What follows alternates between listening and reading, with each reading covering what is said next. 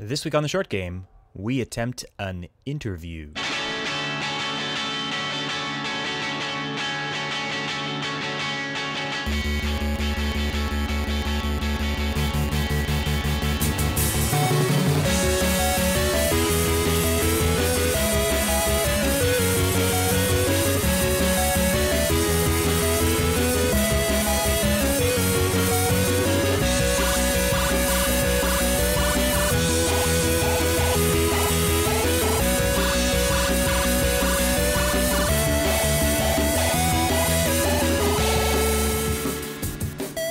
Welcome back to the short game. This is the show where we discuss short games, the kind of games that you can finish in an evening or a weekend.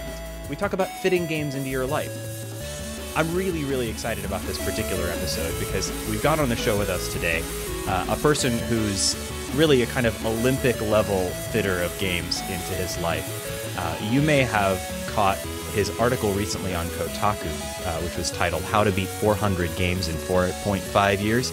Really an amazing read, and that's where I became aware of uh, David Heineman.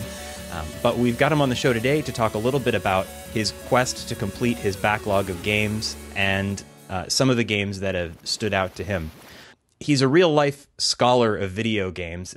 Uh, David is an assistant professor of communication studies at Bloomsburg University of Pennsylvania and author of a forthcoming book, uh, Thinking About Video Games Interviews with the Experts. Uh, he also hosts the long running Racketboy podcast, a podcast about uh, games collecting, uh, interviews with game designers, and uh, getting through your backlog of games. It's a really great listen, so you should check that out. Thanks so much for coming on the show, David. Sure, I'm happy to be here. Of course, I am your host, Reagan Kelly. Uh, and I am joined once again this week by my great co-host and fancy podcaster, Nate Heininger. How you doing, Nate? I'm doing well. Happy to be here. Awesome. I'm super excited. So, David, um, your article is really fascinating. Uh, but when I got a chance to read a little bit about you, I was really interested because I think you're the first person that I've gotten a chance to talk to, you know, over the internet or in person, who actually kind of studies video games as a part of your professional career. And I think that's really interesting. Um, I was wondering if we could just start a little bit by talking about your history with video games, talking about your uh, uh, your bio. And for example, have you always been a gamer, or when did you get started with video games as a hobby? Uh, yeah, I mean, I'm I'm 34, uh, so uh, like like a lot of people my age, uh, I grew up in the uh, sort of the the very beginning of the 8-bit era. It was the, the first uh, first time I remember having my own console at home. Uh, my first video game playing machine was a Texas Instruments uh, 99 4A, and Nice. uh, and uh, so I you know. Uh, so I was probably uh, I, have, I have a five year old. I was probably about his age when I guess I started playing games and uh, never really stopped. Uh, there are periods, you know, teenage years or college years where sometimes uh, there would be more game playing or less game playing, depending as you know how life goes. Um, it prob- certainly not as much in uh, graduate school uh, as I might have uh, might have preferred, but you know other other demands, right? So, uh, yeah, I've been a, a lifelong gamer. Um, I, I've never really until uh, the beginning of the period for the the article uh, tried to have a, a focused uh, attempt to get through a lot of games. I just kind of played games on a whim or played a little bit of this and then went to something else. And not that I never beat games, but it wasn't. I I think it had a, it has a relationship to the other thing that you mentioned, which is uh, starting to think about incorporating games into my research. And uh, I, I felt at that point, in order to, to have some credibility to talk about the thing I've been doing as a hobby through my life, uh, you know, in addition to reading widely and writing and doing other kinds of things, uh, I should gain as much firsthand experience with as many games as possible. So, uh, which is something that, as you read people who do study games and, and do game studies work, is the, the what the field is called, um,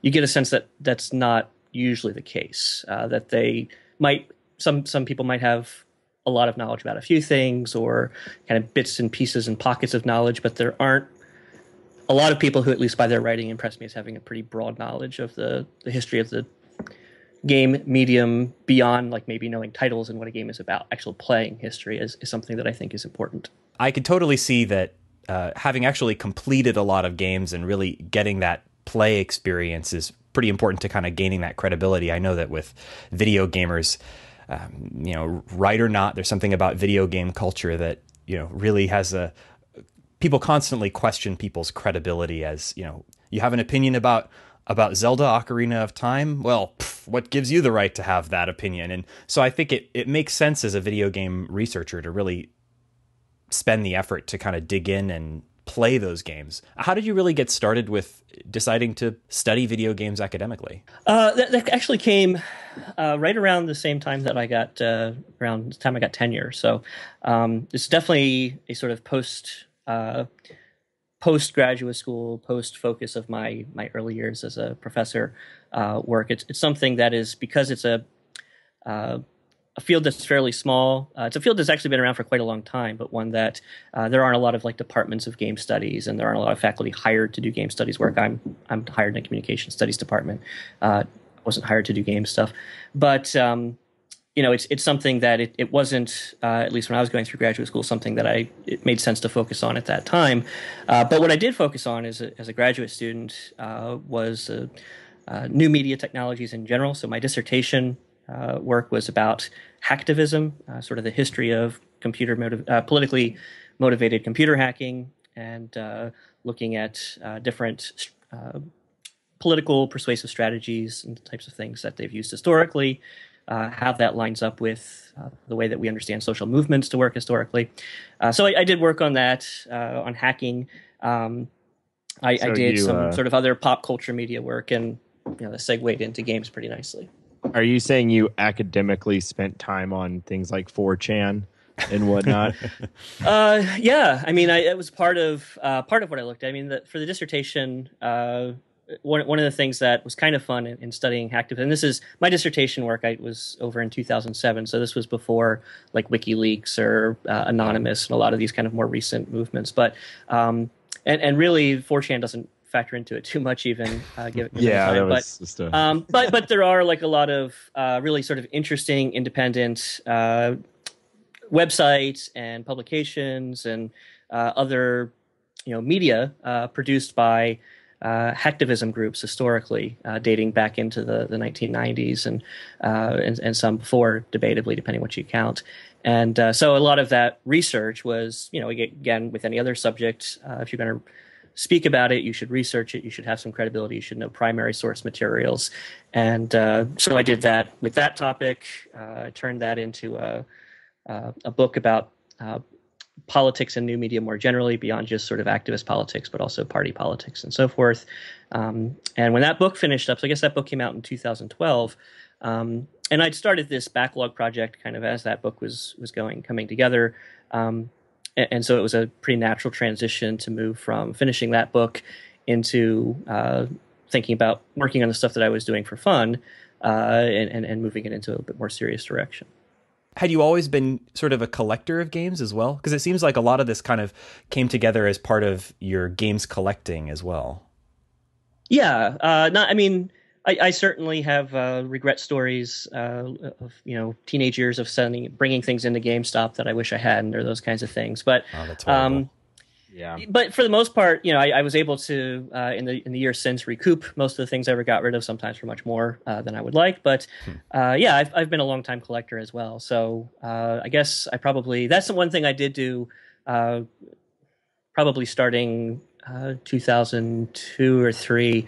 Um, started just by picking up some games for systems that I still had kicking around from my uh, from my youth and my teenage years. So like I I had a uh, Sega Genesis and Sega CD and a Sega 32X hmm. system uh, when I, I when I was uh, was in high school and um, I, I kept it and uh, so I guess it started by just kind of picking up some cartridges for that that I'd never picked up in the 90s or uh, you know that that kind of thing. Very sort of slowly moved into it and um, you know, as you do that, if you happen to stumble across one or two good lots, uh, hmm. you know, all of a sudden you have these other systems that you never had. Then you got to try them out and check out their libraries. And uh, that was actually uh, you, you, mentioned uh, that I host, host the Racketboy podcast.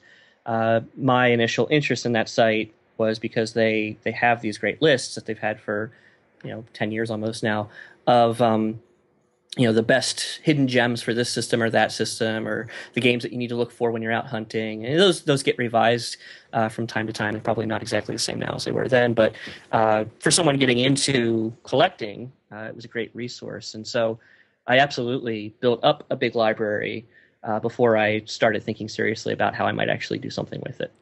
I can remember a, I can vividly remember a very ill-fated garage sale that I had when I was younger. That I still think about some of the games that I sold for, you know, a dollar or to just to afford. Mm. Uh, you know, I had all those Sega systems as well.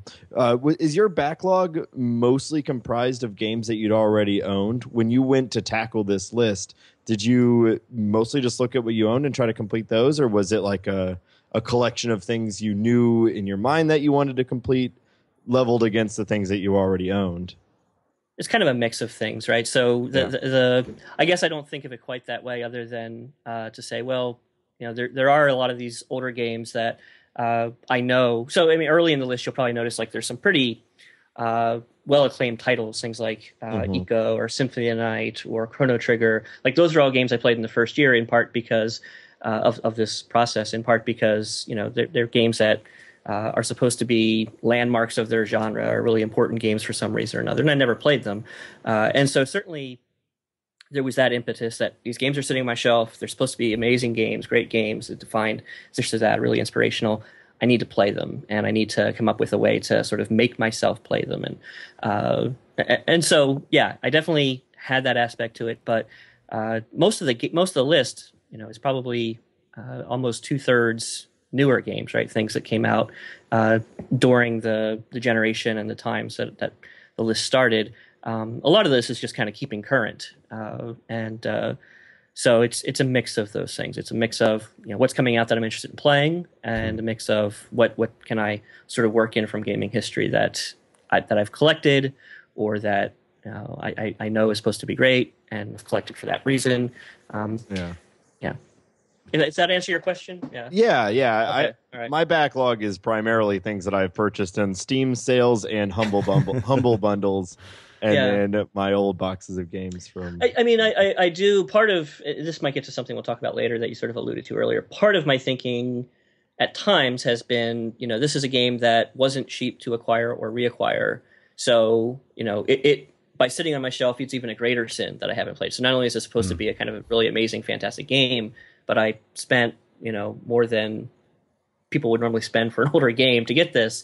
Uh, I really should experience it. You know, so Yeah. and with with the humble bundle stuff or the dollar fifty Steam sale games, unless I'm really compelled to try them out, uh, I, don't, I don't have that same push to necessarily get to them right away. So when you are addressing this sort of backlog, uh, in your article, you did a great job of sort of outlining some steps that people could take to kind of tackle that. But I kind of wanted to unwrap that a little bit and talk about some specifics. Um, Sure. first thing would be one thing that I wondered was, do you play more than one game at a time, or how do you how do you structure your time so that you know you're giving each game the attention that it needs? I know that for me, for example, I have a tendency to start games without finishing them, and I think a lot of it comes down to trying something new before I've finished the thing that I've begun. Yeah, uh, I generally don't play just one game at a time. I, I, I generally have th- maybe three, uh, sort of that I'm, I'm working through.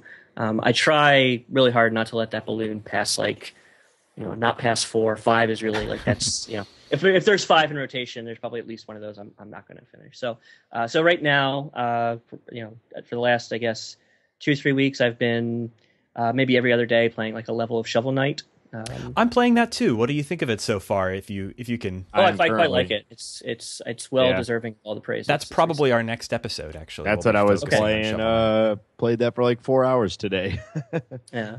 Um, I'm I'm playing that. I'm playing. Uh, I've been playing a lot of the Destiny beta. Okay, so that's one. Obviously, I'm not trying to beat. Uh, but Me too. It's it's, it's the hot new thing, and Yeah. uh, I want to play it, and it's a lot of fun. Uh, so uh, and then I'm I'm also uh, recently started up uh, System Shock 2, which is a game that is another kind of one of those that was cheap in a Steam sale or something, but it's one that I've he- heard so much about over the years. I loved the Bioshock games, and I, I wanted to finally get to it and play it. Um, so those are the three games, and and I, uh, you know, I, I try to split my time be, across them. Uh, as I finish one, you know, something else will come into its place, whether it's older, or newer, uh, might depend on you know what I've picked up or if I've read something interesting that rekindled interest. It's I don't tend to plan out. You know, I'm gonna play this game, then that game, then that game. I, there's not a schedule of games. It's just okay. Now I I have something open. What sort of length of game do I want to play? Um, you know what what have I been itching to get to? Like the new Wolfenstein right now is something that I'm kind of itching to get to. So my guess is maybe when the best when the Destiny beta wraps up, or if I finish Shovel Knight, whatever happens first, I'll probably dive into that next. So length of games is kind of factoring into your decisions about which games you pick. Yeah, absolutely. Yeah. I know you mentioned how long to beat dot com when uh, in your article and i know that's a, a resource we lean on a lot for this show as well because obviously when we're trying to pick short games to cover uh, it's it's a fantastic resource um, mm-hmm. but what uh, how, how exactly does uh, game length sort of factor into your decisions of what to play and when um, well I, I, sort of have uh, a, a, sweet spot for time right which is e- either uh, e- either side of 10 hours, right? So like a seven hour game uh, is, is really good. It, it, those, those games, even if I'm not loving the game, uh, it's not so long that I'll feel like it overstayed its welcome. And I might get three or four hours into it, be like, yeah, this isn't a great game, but I've only got three more hours. I may as well get it out and finish it, right? Mm-hmm. Um, you know, but but certainly uh, that's very genre dependent, right? So uh, RPGs, it's really hard to find anything that's seven hours. Mm-hmm. Um, and and so uh, for me, like I I tend to like RPGs that are between 15 and 30. Um, and that's a game I know I'll probably be spending at least a couple of weeks with. Um, you know, I, I th- there are some rare exceptions of things that I've that I've played that are longer, but you know, I like for example, I picked up um, Xenoblade Chronicles a couple of years ago, and I probably sunk 10 hours into it. It's okay, um, but you know, people were saying, "Oh, it's not until like 25 hours in that the game really kind of picks up and gets." And I just that, that, that to me is not appealing. Um, yeah, and that's like you know, and I'm sure it's great po- yeah. concept of our podcast is it shouldn't take right. 25 hours to get to the right. good part. No, I do I do have like 90 hours logged in Borderlands 2, right? So oh I mean there are some exceptions, there are a few games here and there where yeah. uh, it just really sucks me in, but by and large, I mean it, like that happened by surprise. If someone had showed me, "Oh, Borderlands 2 is 90 hours of gameplay by the time all the expansions come out and everything." I'd probably say that sounds great. Maybe I'll dabble in it a little bit, but I, I don't I don't think I'm going to not play 10 games so that I can play this one game. Um, and, and I'm sure I miss out on things by doing that. I mean, that's, that's not a, it's not a method uh, that necessarily would or should work for everybody. And some of the comments in the Kotaku article, like, you know, you're sucking all the fun out of it. You're not enjoying things or smelling the roses. Or, um, but, but because I have these other reasons why I want to play a lot of games, uh, to me, I feel like I'm wasting my time if I spend uh, a lot of time in a game that I could be spending with others. That 10 hour mark is a kind of an unofficial mark for us as well. It's kind of a border between a short game and a long game. Now, it's obviously really vague, and I think we probably covered games that I've certainly spent more than 10 hours on. Um, well, but, yeah, I've got like 130 hours into Faster Than Light. Oh, and geez. we did it, and we did an episode on that. But but each individual game is very short. Yeah, absolutely. Yeah. And that's something yeah. actually I kind of wanted to ask you about because there's some games that really have a much more open-ended amount of time that kind of fits into them. You talk a little bit in your article about defining for yourself when a game is done. You know, when is the game over? Um, but there are a lot of games like Faster Than Light, perfect example. I don't know if you've played that particular game, but games that there's really an open ended kind of ending, if you will. Games maybe that you play um, multiplayer in lots of short games or um, uh, games like puzzle games where there's not really a finite end or a point where you're positive you've mastered or beaten the game. Uh, so I wondered how you uh, how you decide when you're done with a game where there's not really a credits roll with a uh, with a final moment. Well, I mean, there's plenty of games I play that that I you know I don't put on the list because I, I don't finish. Um, you know, if uh, so, it, it, this is again very genre specific, mm-hmm. right? So, um, you know, one of the things I, I think I mentioned in uh, the article was that if it's like a sports game, um, if I can get through the season and or a playoff run, uh, depending on the age of the game and how much time I think I really want to sink into it, um, you know, and and and uh, get to the credits there, you know, ideally as champs, then that game I would count as as beaten, even though there might be you know sort of uh, franchise mode, and I could go through and do more seasons or create a player and these other things. Um, you know, I, I, that would be an example of a game. Some people would say you cannot beat this genre, hmm. but I would count it uh, if I. For me, it's it's beaten if I feel like I've experienced uh, sort of uh, the main idea of what the game is supposed to be about and played through some sort of dominant, you know, predominant narrative thread of some kind. Um, you know, uh, there's lots of games that open up additional content or side quests and things like that when you beat them. And uh, not to say I never go back and play those or, or mess around with them a little bit, especially if I really like the game, but I don't feel like I need to do those things in order for it to, to count as beaten. Um, can you think of another example? Of, I'm trying to think of other genres where like you, you wouldn't have credits, but you might be tempted to beat something. Sure. The roguelike genre, I mean, the, the uh, uh, FTL obviously is a member of that genre, but there's been so many games with roguelike inspired aspects lately. Another um, way to think about it is a high score generated game. Oh yeah, games you know, like uh, your okay. Your so, goal so is just right. to get a high score. Or I, uh, another example was occurring to me. I play uh, still a lot of Puyo Pop Fever on mm-hmm. the Dreamcast. It's a sort of an obsession of mine. Um, but I could never say that there is a point where I. I mean, I, I suppose there is. There are a. Uh, there are sort of a uh, mode where you can progress through a series of stages and so presumably i guess you could complete it there maybe not the best example but games like that where you're really competing against yourself rather than against the game to improve your scores. Yeah so there's plenty of old arcade games that are like this of course right? So um, and, and, there's a couple of ways to do that. So uh, one of the, one of the games that's on my list for example is uh, tempest. Um, and uh, i played the uh, tempest 2000 the jaguar mm uh, version of the game, which has a uh, has a mode that is basically the original arcade mode, and I think it maybe has I'm probably going to get the number wrong, but around 20 or so levels that you have to progress through. At which point it begins to loop, and the, the levels just replay each other. They might throw more enemies and things like that on them, but uh, you've basically seen all the scenery, all the levels, all the layouts that, that, the game is going to throw at you. If you loop a game like an old arcade game, I, I personally tend to count that as beaten. If you get to a kill yeah, zone, that makes or a sense. kill a kill screen, uh, which you know was pretty hard to do. Yeah, that, that I would count as beaten. if you Um, make it but- to but a, a more skill, basic- kill screen, yeah. you're next. a, a real a real short example so uh, would be uh, I finished Donkey Kong Jr. Uh, for I believe either either the 2600 or the 7800, Wow. and uh, that that's a game where uh, essentially there's four levels, and uh, each level maybe takes you know a minute. And, and then they then they give you two levels in a row. Then they give you three levels. So it's it's four levels that uh, they repeat in a certain pattern until you've seen all of them in an order and then that whole pattern starts over again and to get to the end of that first pattern you have to play really well like it's hard to get through that first loop uh, without dying but if you're really playing for score like the best players are going to be people who play that time after time after time after time after time in order to get you know uh, world record scores or shoot for something really high. For me uh, you know i'm happy to try to shoot for as high of score as i can but if i can get through that first loop i'll keep playing but i will also at that point have considered it. You know i've seen what this game has to offer.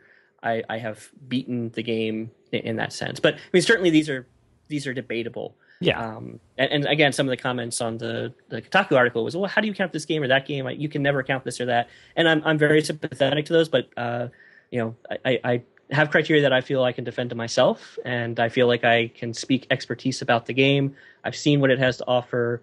Uh, if the if the designers put it in there, I've uh, and they intended players to be able to see it in order to kind of get to the end of the game, then then I've you know I've seen it. i like that Yeah, there's always going to be people who experience games on different levels or or understand a game on different levels, and it's it's really not fair to hold what you believe is a completed game against anyone else's idea of what is completed.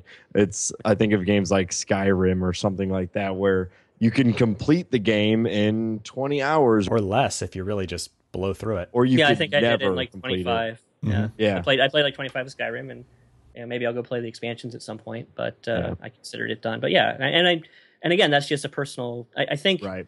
Uh, I was a little bit taken aback by maybe I shouldn't have been on the internet, but a little bit taken aback by some of the people who were like you seemed angry, right? Like, oh, you know, you should not put this game on there. Your list is complete BS now, right? Oh yeah Right, Even if you take these out, there's still, you know, if you don't like those particular games, there's still you know, 350 others or something that would that would be fine for most Mhm. people's criteria. So, um, but yeah, ah opinionated internet commenters sure. You may have noticed we do not allow comments on our website.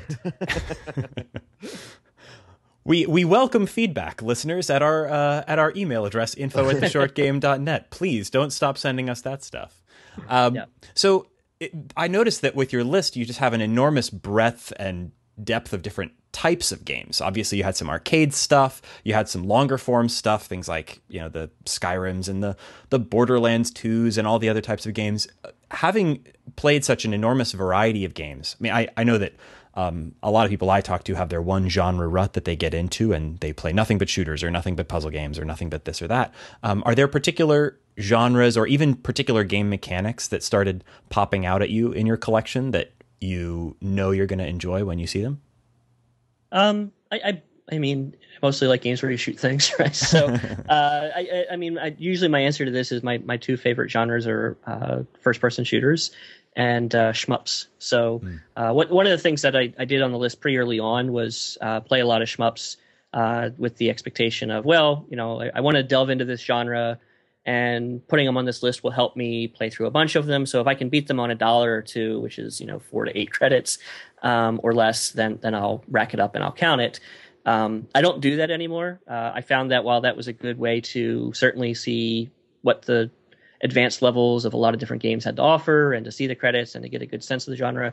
Uh, the more I did that, the more I understood um, how uh, taking something away from appreciating the genre as much as I could if I just tried for one CCs or or if I uh, played games that uh, basically start you with one credit and allow you to maybe unlock others as as you go uh, by accomplishing certain scores or earning uh, earning points that you can spend. So I'm thinking of something like uh, Crimson Clover, uh, which is a, a independent developed uh, Dojin shmup that has actually been recently released on Steam. But the original disc version of the game had a, a way that uh, the longer uh, you played and the more successful you were in the levels, you would earn credits, and you could spend those credits in a store, and so you could spend them on continues, right? So you just you couldn't just continue forever. Um, and and uh, there's other versions of uh, like some of the treasure games like Ikaruga or um, the uh, Gradius 5 uh, had a system where like the longer you played and the further you got, you would unlock additional continues. So uh, in order for me to count a game in the shmup genre now, I either have to one CC it, which which I can do with with some of them, uh, or you have to be able to, or I have to be able to uh, unlock these uh, additional things that developers build in to help you reach the conclusion of the game. So. Um, so shmups and first-person shooters, I'll try and play pretty much everything. Um, you know, first person shooters are also really good for an experiment like this because these days anyway they tend to be uh, five to seven hours, which is sort of you know really really good length to to get through and see all the mechanics and uh, see how level design is progressing in the genre or regressing depending on who you ask. And uh, so those would probably be my favorite too. Yeah, as someone who's a fan of the Battlefield series, uh, at this point, I I play the the single player campaign just to kind of see what the new world looks like, what the new game's going to look at look like. But I don't know if I've actually finished any of them for for a couple generations now because at yeah. this point, I'm just like let's let's get online and and yeah, fly, I, I fly probably planes. play. I probably play with some exceptions over the years. I've probably played uh, the campaign in first person shooters uh, for about twice the amount of time as I spend online. So if the campaign is five or six hours, I'll spend two or three online. Now there's some exceptions. I spent spent a lot of time playing Halo or the first Modern Warfare or yeah. um, the Resistance 2. I spent a lot of time. So I mean, there's there's been a lot of games where I spent a fair amount of time online, but uh, I, I'm I'm one of those folks who will buy it for the single player campaign. I'm there with you. I tend to prefer single player um, first person shooters. I love the shooter genre, but um, something that sometimes holds me back is that I'm well. Part the main reason that I don't do a lot of online play is that I am probably just not playing on the same level as most of these teenage hmm. cyborgs mm. out there on the internet. Perhaps just with the uh, additional effort and practice and study, you're just better at games. Do you ever come across games that you that you just can't beat for skill or technical reasons rather than just for uh, time constraints? Well, I mean, other other than I, I, mean, I'm not trying to sound cocky, right? So, no. I mean, other than other than like arcade games, where the you know, if I'm trying to beat them on an imposed time limit, um, I'm sure there are games that I've I've hit hit the wall and stopped. Um, I've rage quit a few games uh, this year. Yeah, like I mean, there's been a few times where I've closed the 3DS as in the middle of Shovel Knight recently. you know, oh my! Shovel Knight is but then, uh, so yeah, much more but, difficult than I expect. Yeah, but then, then I'll go back to it. So I mean, uh, one of the games that uh, inspired by Shovel Knight. So for whatever reason, I know a lot of people love the series, and I certainly appreciate a lot about it. But I suck at Mega Man games. Oh, okay? Oh, me too. So uh, I, I, I will. I've played probably the first level or two or three of a half dozen or more Mega Man games and some of the Mega Man X games. I, have really tried to get into that series, but if you look at my list, you'll see there are no Mega Man games on there, which would they'd be great picks because they're short. Um, they're classic games that are well respected and loved. But uh, that that series in particular, I just I lack whatever. Uh, skill is needed to, to really enjoy and, and uh, do well in them. So that's not to say I won't go back and try. So actually, I'm wondering if my Shovel Knight run will give me some of the skills I need to uh, to go back and and do better at the Mega Man series. But uh, that's a that's a great example. We've been considering doing an episode on Mega Man 2, but I haven't been able. I, I, feel I would lack the credibility because we haven't. I haven't been able to complete the game yet. And uh, while I have a lot to say about it because I think it's a really amazing game, it's it's probably not going to ever be a short game episode because I just can't do it, guys. do you? so uh, another another one, the the uh, Souls games, right? So I've tried mm-hmm. both Demon's Souls and Dark Souls, and like many many people, I found them to be frustratingly difficult. So even though I maybe put four or five hours into a few of them, I just yeah, that's I gave up. Do cool. you pick your? You just said like maybe that Shovel Knights will give you the skills required to beat Mega Man. Do you think about that a little bit when uh, making your selection for your next game? Like, I'm really good at this particular mechanic right now. I'm gonna I'm gonna par I'm gonna parlay that into you know a successful run. Yeah, I, I, do sometimes try to group uh, similar types of games together. Um, eh, so I'm trying to think of examples of this in, in the recent past, but um, well, like one of my one of my well, probably my all time favorite game is uh, Devil May Cry three, and uh, I really like the uh, the mechanics in, in games like like the Devil May Cry games and uh, to some extent what they've done with it and things like Bayonetta. Um, but also, uh, I mean, there's some of that in games like Vanquish and so forth as well, right? So if a game like like that comes around with the sort of uh, rapid beat 'em up hack and slash 3D, you know, very fluid gameplay where you switch between different, different techniques and weapons and so forth. When those come around, uh, I, I, tend to uh, to dive right into them, and um, I uh, I certainly seek those games out in part because even though some people find them challenging. I really find them rewarding and a lot of fun. Um, but there have been times where I've said, okay, well, I, I finished. So what I'm doing right now is actually a pretty good example. I, for the first time, uh, just finished up uh, Thief, the original Thief. Ah, uh, congratulations! Uh, never, never played. Amazing game. I mean, I'd, I'd, heard all all this over the years. I don't like the stealth genre, uh, but that that game has made me strongly reconsider. Um, amazing game. So that's part of the reason I, I slipped into uh, System Shock 2, right? Because it's also a Looking Glass Studios game made with the same engine around the same time. I don't expect the skills in one to directly translate to the other, but there is a connection there in terms of the engine and the developers and so forth that helped drive what I wanted to play next. So that, that does happen. The thing with the Shovel Knight Mega Man might happen. That does happen across the list from time to time, but I, I don't necessarily plan it, and yeah. there's plenty of times where that doesn't happen. You know? One thing that, I, well, I suppose we'll get to it in a minute. I know our listeners are probably going to be interested if you have any particular recommendations of games that you think would fit particularly well for somebody who wants to play a short game, a game that's going to fit into a you know a brief slot of time. But actually, uh, something that you were saying kind of reminded me. I wanted to ask you about um, if you have a large backlog, like when you've got this big backlog staring at you, does that change a little bit the way that you think about acquiring games or the lens that you look at new games coming out through? Yeah, absolutely. Um, you know, so as I've collected over the years, I, I mentioned I've had horror stories of getting rid of things. Uh, I've also, in part because of going through this this list, uh, said, "Oh, well, you know, I I have all these other games in the series, and now that I've played one of them, I really don't think I'm interested in them. Let me hmm. trade them or get rid of them or sell them or whatever." Right. So, um, yeah, it's definitely affected uh, my my collecting and purchasing habits and those kinds of things. Um, you know, one of the things that I've I've picked up over the years is, oh, you know, I, I, didn't realize that this developer did game A, B, and C, and now that I've played them and I like them all, I need to go find out what else this developer did.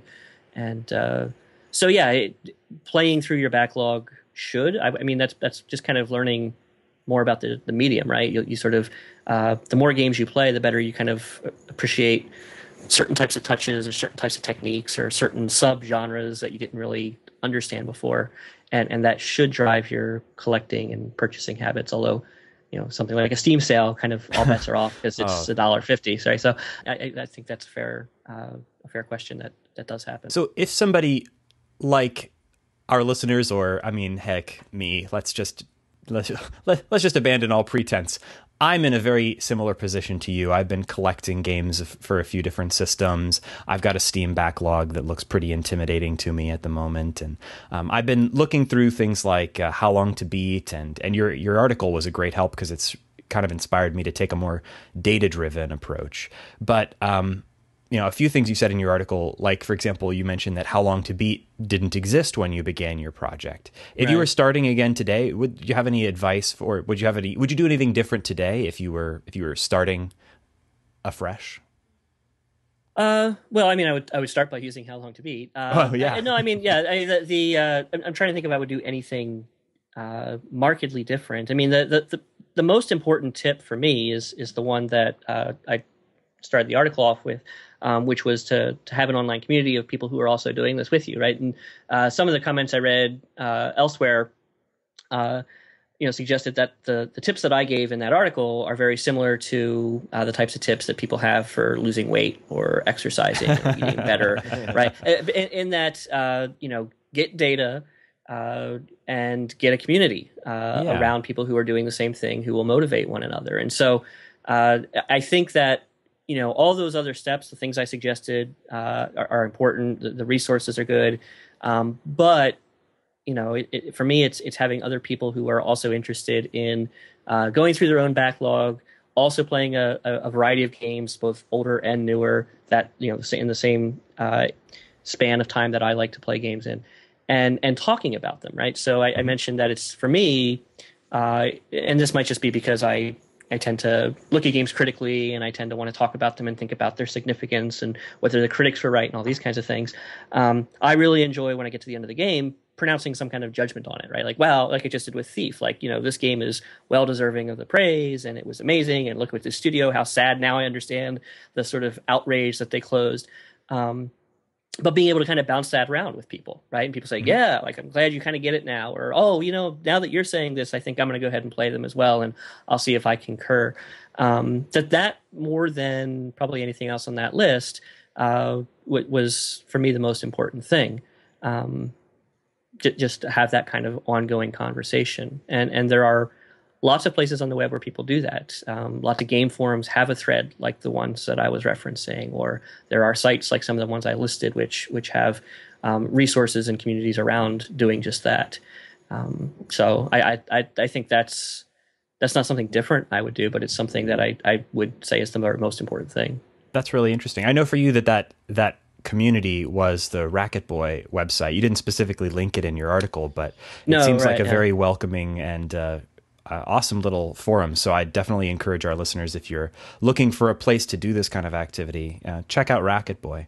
I know uh, there's obviously tons of others. Uh, uh, I know Nate and I both uh, participate a fair amount on Reddit. It can be a little caustic at times, but it's a it's a it's a good community when it tries to be. And there are tons of other great forums on the internet for you to sort of stake your claim and find other like-minded people. Yeah, I can. I can. I mean, just just off the top of my head, a few. I mean, so one of the ones in the article I mentioned was RF Generation. Um, they are great for having. They have a database, like that's kind of the main hook there. But they have they have a thread or two uh, where where people do this kind of thing annually. Um, cheapassgamer.com. Uh, mm-hmm. They also have a thread or two where people do this annually uh, and basically keep you know, keep a running list of games they've beaten and have a conversation with others. You know, it it has to go both ways, right? So you have to also talk to others about the games that they've beaten. Yeah. Um, and uh, uh, oh what's the other uh, i'm thinking of uh, sega 16 so like you know for old games like they, they have uh, they have a couple really interesting threads up right now where the forum is collectively trying to like over the course of a year play through the entire sega cd library or in the course of two years the entire forum is going to try to play through the sega genesis library or something like that. And so someone will say oh okay i'm going to play this game now because i see it's still on the list of something that needs to be played. It's in my backlog. Let me go play it. I'll come back and share my thoughts and then they yeah. can cross it off the list right? So That's... i mean it's it's finding things like that where there's there's a group and uh, mentality to, to working on this together for the purpose of sharing information celebrating successes like wow that's really impressive you beat that or i can't believe you know i've never played that now that i hear what you're saying. I mean that that's really uh, the, the, the driving force for me beyond That's interesting. intellectual interest. Yeah. yeah, I spent a, a, large part of my gaming life involved in uh, a lot of different MMOs, particularly between EverQuest and World of Warcraft. And I don't play those games anymore, uh, mostly because I wanted to try other things, but also kind of a time commitment. But one of the the things that always brought me back to to video games is the social element, and that's hard to find sometimes because a lot of video games, especially nowadays, it really is you're sitting by yourself in front of a TV with a single player game, and online games are fun, but you're still not there with other people. So it's interesting to find these communities that are completing games that have absolutely zero element of multiplayer, but you kind of almost make it a multiplayer game by completing it at the same time, talking about it and and discussing it online. I think that's really interesting. And I'd also say that if you're not a uh, if you're not an online community person, there are real life ways to have this same kind of experience.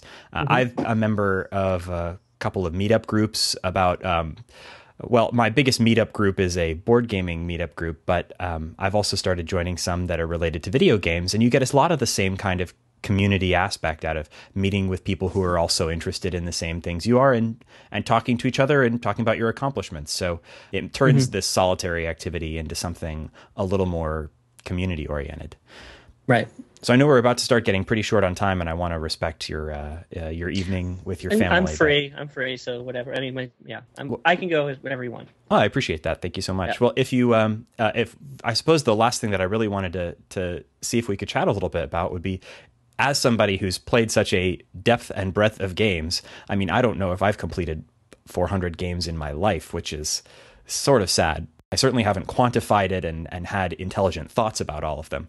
Um, do you have any recommendations of games that really sort of fell within that 10 hours or under mark that you think are really unmissable?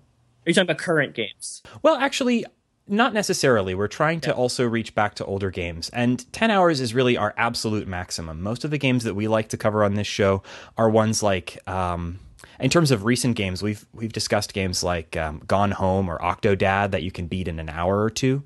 Thomas um, was alone is yeah, another couple one. of hours. Um, we've we've tended towards indie games because in today's marketplace with newer games, those tend to have that shorter length and are easier to fit into a schedule.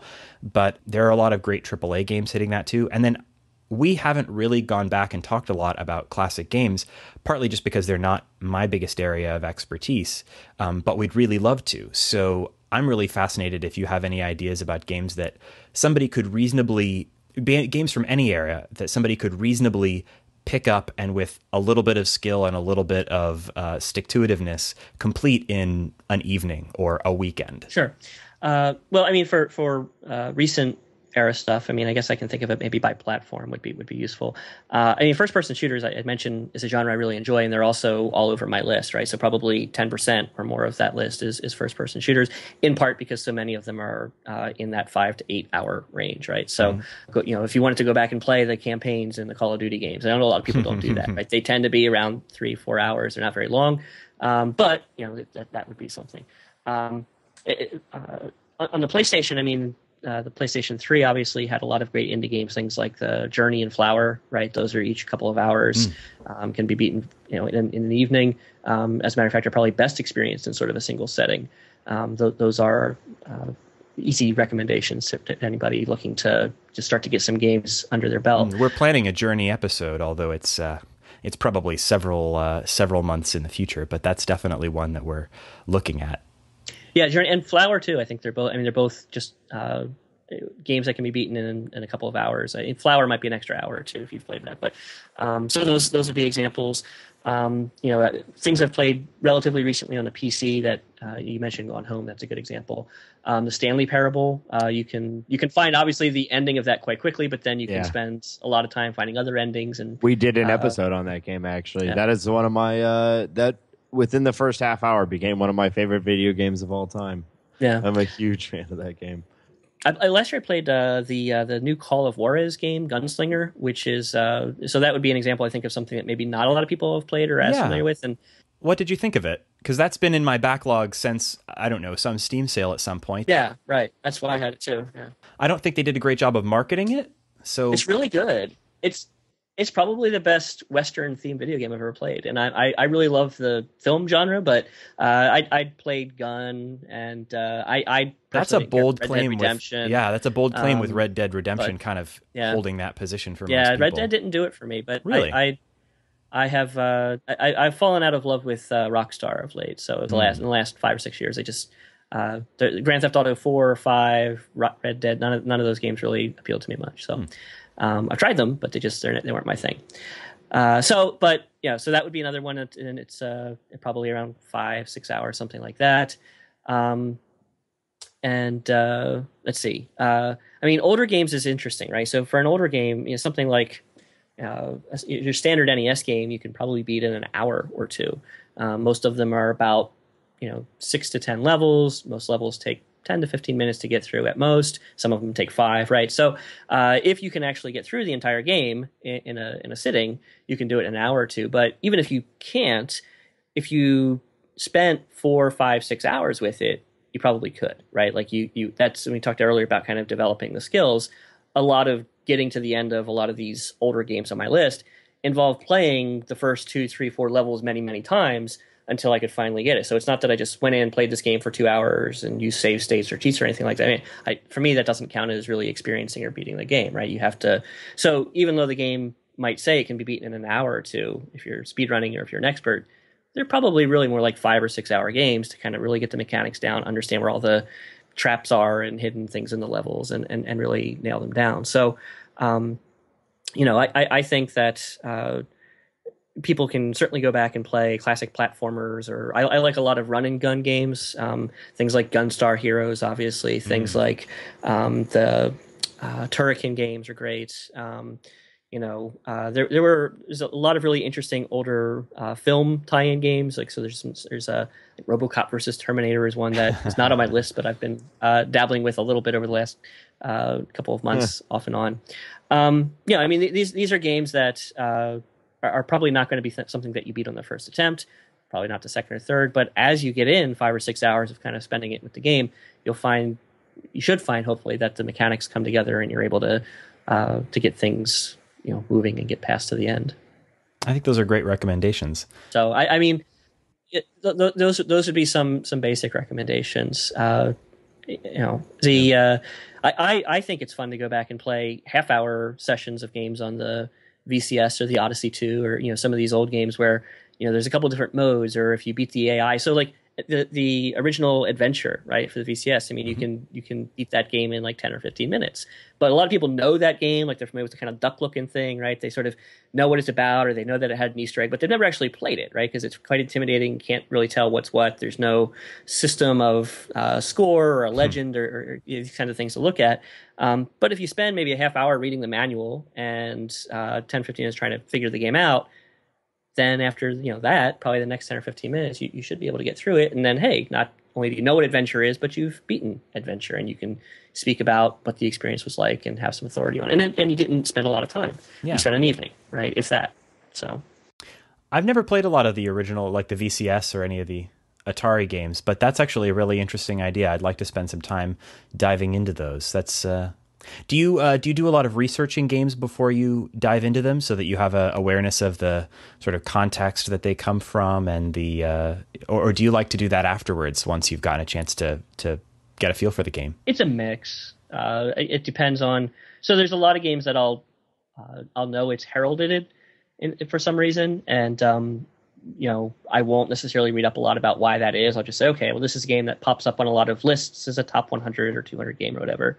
Um, and uh, maybe I know a little bit about something, that, a little bit about the company who developed it, or I know why people like it. But uh, I'll just play it, and then afterwards I'll go read reviews, or I'll go read editorials on it, or these kinds of things. I try, I try not to do that beforehand because a lot of that stuff will reveal things to you about the game that you might want to know, right? Spoil spoil things. Hmm. Um, but uh, I mean, it, you know, at this point, I guess uh, one of the things that happens as you collect is you become sort of familiar with uh, why some games on different systems are more or less valuable, um, why they're more or less collected, um, and, and, that's not just strictly things like rarity, right? That's that's often just because of the, the game is really well loved or it's really well respected, and so um, I, I, tend to I tend not to have a lot of stuff on my shelf that I don't uh, have interest in playing at all.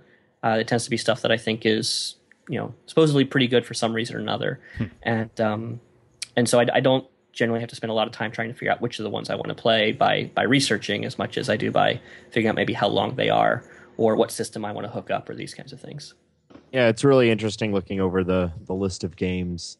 Uh, I've been trying to like keep a mental check of oh yeah I've beat that I've beat that I've beat that. Nope nope nope. It's it's a majority no. I did notice you have um, Mutant League Football from the Yeah, Sega Genesis through, uh, on your list Played through a season in the playoffs and that. Yep. yeah do you agree with me that that is a franchise that should be revitalized Well, because they tried, right? They they had a Kickstarter uh, to bring it back about a, about six months or so ago, and they didn't hit their goal. Oh, So, that's a crime. How did I not hear about that? yeah I guess a lot, a lot of people didn't hear about. it. That's so, a crime. I had a Sega Genesis, and that's the only sports game I owned for it. Yeah, yeah. It's a great game. yeah Yeah, that's that's, and I think it was just because I mean I, I know I don't play sports games so much, uh, so it sort of has to have some other hook. You know, I like the the Mario sports games, and uh, Mutant League Football just crossed that line. Mm. Gosh, what a game! That's such a shame that they didn't make that goal.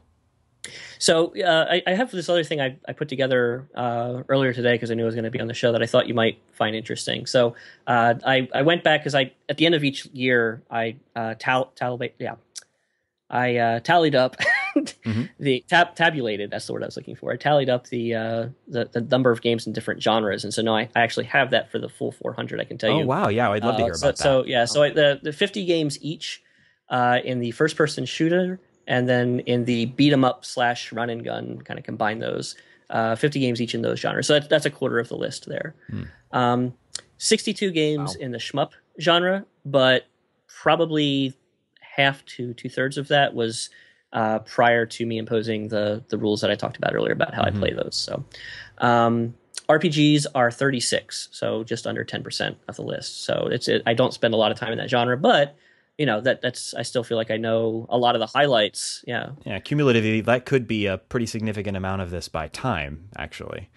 yeah, and most of them are 20 to 30 hour RPGs, not you know 50 to 100 hour RPGs, because that would you know When you play an RPG, do you uh, are are you a walkthrough reader, or do you find that objectionable from a moral perspective? No, yeah, I don't. I don't about a moral perspective, but uh, it ruins the game for me. So I Mhm. only consult walkthroughs if and when I get stuck, and and after kind of what I what seems to me a a more than reasonable attempt to get over some impasse. Uh, you know, then I'll consult something. So, uh, for ex- but a, a, a counter example to that would be I recently played through Eye of the Beholder, Mhm. um, the original uh, one of the original gold box games, right? And uh, that was a game that uh, uh, was often criticized in reviews for being something that was designed in part to sell the guide that comes with the game because the guide has like maps with legends and it has like a lot of things that now we kind of take for granted as being put in the game itself. And so because I didn't want to sit there with graph paper and try to map out the level by hand, uh, I, I regularly consulted the guide during that game. But I felt that that was kind of a common practice at the time where the game was released for that particular you know subgenre. So um, there, there are exceptions, but by and large, I don't tend to use guides unless I, I really yeah, get for stuck. me, for me, I have like a mental, you know, equation where my level of frustration is higher than my, my level of satisfaction that I will achieve once I, you know, figure it out on my own. Once I've gotten to that point where it's like I don't even care if I figure this out, I just want to get it done. That's when Yeah. I go and look for walkthroughs.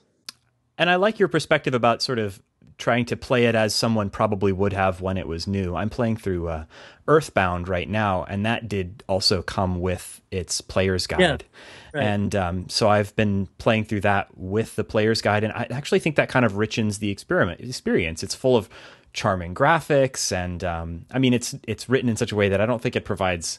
Yeah, it's it's a little spoilery, but I, I think it sort of overall has improved my experience with the game, and I I at least have the defense that sure, but you would have had that if you bought the game off a shelf when it was released as well. So So let me, let me give you the rest of these numbers real quick here. So the, the rest are uh, racing and sports, 25, fighting games. There's a lot of fighting games in the list, I'm sure you've noticed, 49. So uh, third person shooters, 21, platformers, 36, and then other 71, right? So there's a lot of games that don't fit into Yeah. neatly into a particular genre. But, um, no, I mean, for me, it was, I, I think that if you concentrate your attention in that genre that you really like, so really maybe you really like RPGs or you really like arcade games, and do exclusively that is, is another way to to really get burnt out. You know, I, I saw in the comments some people were saying they would stagger genre. I'll do this genre, then that genre, then that genre. I don't know that you need to do that per se, but I, I do think it's important that if you're really trying to delve into your backlog, that you make it a point to really mix things up. Don't spend too long on one system. Don't spend too long on one particular genre, one particular developer. Maybe little pockets of that, but if you if you really are trying to like blow through the entirety of one thing, uh, and you you hit a wall because you're tired of that thing, it could slow your progress on the attempt as a whole. Yeah, and I actually read through most of the comments on on your article, and some of them did have some pretty good insights, like that. Or I know another person uh, recommended kind of rotating. Um, like new game, old game, you know, portable games. I, they yeah. had some sort of program that they had made for themselves, yeah. and I'm sure everyone's going to have their own little way of tweaking that and deciding how to play things next. But I think the idea of having um, having a plan for how to decide what game to play next and that kind of and how to rotate your time is probably a pretty good one. Mm.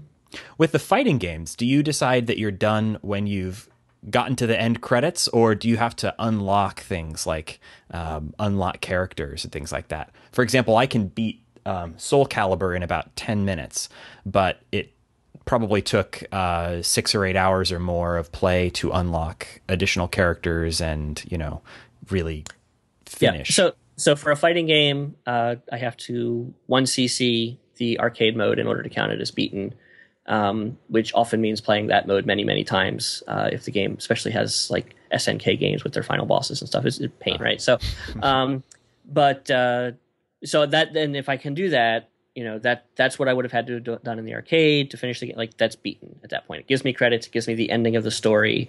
Um, you know that I'm done. Uh, to to complete the game, right? To finish to 100 percent it yes, you would have to unlock those other things. And there are some fighting games that I really enjoyed, and I've done that. There are others that say, well, I've, I've played through it, I've beaten it, I beat the final boss, and I really don't care to go back to this again, mm-hmm. and I don't. So, I mean, I think that's another important thing to know is that just because a game has goes goes on your list doesn't mean like you now must be done with it. Um, especially the shorter games that you can finish in an hour or two. Well, if there is another hour or two of content there that you want to spend time with, that, that's probably not a huge commitment. You may as well, right? You may as well enjoy it. But it's when there's another 20 or 30 hours and you've already done 20 or 30 or more, like that, that's where it starts, I think, to be a, a major time suck. David, thank you so much for coming on our show. Um, and I'm really happy that you've graced our podcast with your presence and uh, that you've been our, our first guest because I think this has really set a great tone. You are a, uh, a fascinating writer about video games, and you are an epic player of video games, and we are honored to have had you. So thank you so much for coming on our show. And to all of our listeners, if you want to keep up with David, uh, you can follow him on Twitter at Dr. Heineman and I'll put a link in the show notes, of course. But is there any place else you'd like people to uh, to check out? Uh, I mean, if they if you want to link to the Kotaku article, uh, it's possible they might hear this and not have seen that. So absolutely, uh, that that would be the place to go. And there might be like another link or two in my bio there that they could find there. So. But it's been my pleasure. I really appreciate you having me on. Thank you so much. And of course, you can follow our show on Twitter. We are at underscore short game. Um, I've been your host, Raygan Kelly, and you can follow me on Twitter at Raygan K. I spell that funny. It's R A Y G A N K. Uh, Nate, where can people find you? Uh, on Twitter as well, at Nate STL. Awesome. It was very nice talking to you. Yeah, thank you so much. Same. And um, we'll play that outro music now. But uh, if you want to check out our website, of course, it is www.theshortgame.net. And you can send us feedback, and we love hearing your feedback either feedback about this episode or perhaps suggestions of games that you think would be a good fit for our show. Uh, let us know at info at theshortgame.net. So we'll catch you next week on another episode of The Short Game.